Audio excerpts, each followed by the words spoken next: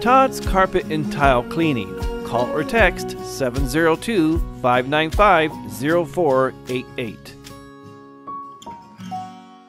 On Sunday, September 1st, the Las Vegas Fire and Rescue responded to a fire at the Bella Soleri apartments in the 7100 block of Smoke Ranch Road. According to officials, the first unit arrived just after 3:45 p.m. The fire was upgraded to a two-alarm fire 10 minutes later. Despite the rapid response, the fire had already caused significant damage. According to the American Red Cross of Southern Nevada, 16 apartment units were affected, resulting in the displacement of 32 residents. The organization was on site site to assist those impacted, providing aid and support to help them through the challenging situation. Tragically, Two individuals were taken to a local hospital for smoke inhalation. In a heartwarming turn of events, one dog was also rescued from the flames and taken to a nearby shelter for evaluation. The cause of the fire remains under investigation, with officials working diligently to determine how the incident began.